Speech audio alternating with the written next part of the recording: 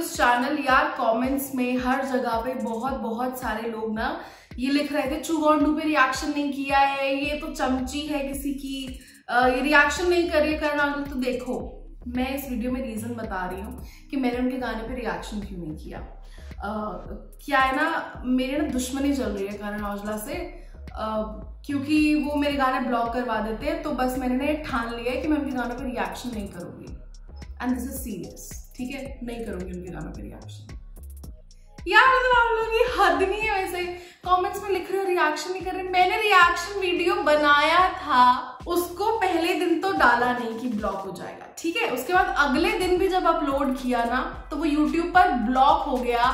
फिर इंस्टाग्राम पे अपलोड किया है। आप आईजीटीवी पे जाके देख सकते हो। प्लीज़ गो एंड वॉच दे मैंने रिएक्शन किया है। भाई, मैं क्यों नहीं करूँगी? इतने बढ़िया आर्टिस्ट है वो। मैं उनके गाने में क्यों नहीं रिएक्शन करूँगी? मतलब मेरी ऐसी कोई पर्सनल दुश्मनी थोड़ी है उनसे जो मैं रिएक्शन नहीं करूँगी उनके गाने पे।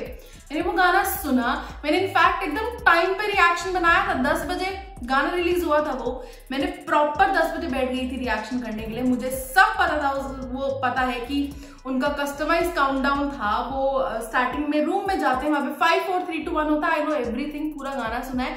चुगॉन डूगा मतलब भी पता है वॉट यू गोना डू तो ऐसी बातें प्लीज़ कमेंट में मत किया करो, मैंने किया है रिएक्शन पर जब वो ब्लॉक हो गया है तो मैं क्या कर सकती हूँ उस चीज़ में? मैं मेल का जो स्क्रीनशॉट है ना, जब वो ब्लॉक हुआ, वो यहाँ कहीं साइड पे लग जाएगा, आप उसको देख भी लेना। मतलब आप लोग कमेंट्स में ऐसे लिख रहे हो, ये क्यों नहीं कर रही है रिएक्शन मैं खुद डर गई, अरे भाई, ये क्या हो रहा है? मैंने किया है रिएक्शन फिर भी बट मैं लिंक मेंशन कर दूँगी डिस्क्रिप्शन में कमेंट्स में भी मैं लिंक को पिन कर दूँगी। आप जाके इंस्टाग्राम पे रिएक्शन देख सकते हो, चुगोंडू, मैंने किया है reaction thank you so much watching this video अब देख लो उस वीडियो को जाके भी. And yes tata bye bye